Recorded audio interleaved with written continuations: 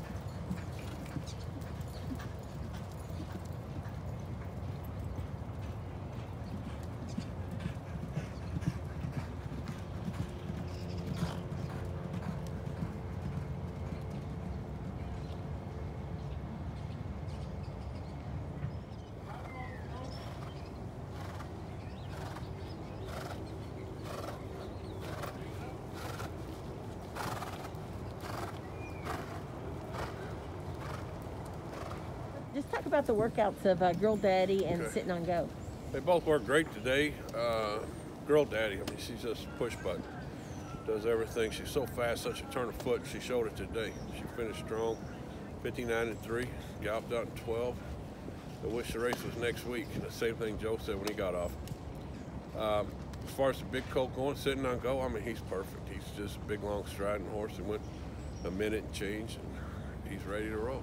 They're both two for two. Um, talk about the decision not to run them back because you've gone both ways. You've chained them up to the Breeders' Cup. You've Yeah. also run them back in the teal races at Keeneland. Well, they are both two for two, and they both ran fast in their stakes here at Churchill. And there was a little bit of a quick turnaround, I thought, to go and then try to jump right back in and, and uh, put you know three races, three hard races back to back like that.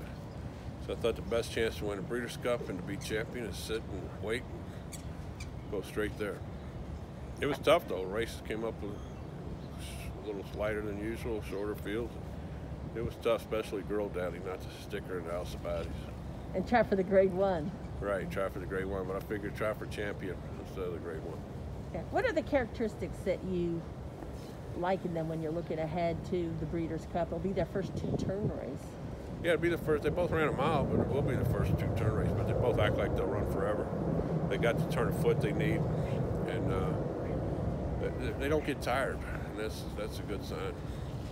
Does it seem strange um, that we've just come, been, we're just through now with the Triple Crown, and normally it would seem like a long ways to the Derby, but now it doesn't. In the Oaks, it doesn't seem very long at all.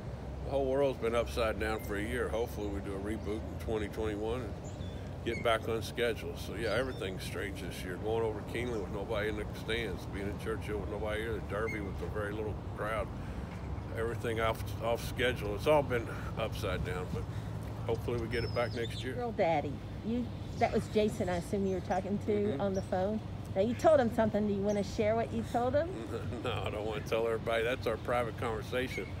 But I think it had something to do with if they bet, they'll cash. Yeah, they both broke their maidens first time out at Ellis Park. These are horses that certainly would have fit at Saratoga. No, they're part of the Ellis Park two-year-old club. I mean, it's the best, become the best place in America to run your two-year-olds. And it used to be a lot easier than Saratoga, and I'm not so sure if it's not tougher now. You've been in this situation with an Ellis Park race, one of your two-year-olds, and thinking this is going to be the one. This is going to be the one. Had a uh, not this time a really good second. You had the horse last year with Dennis's moment.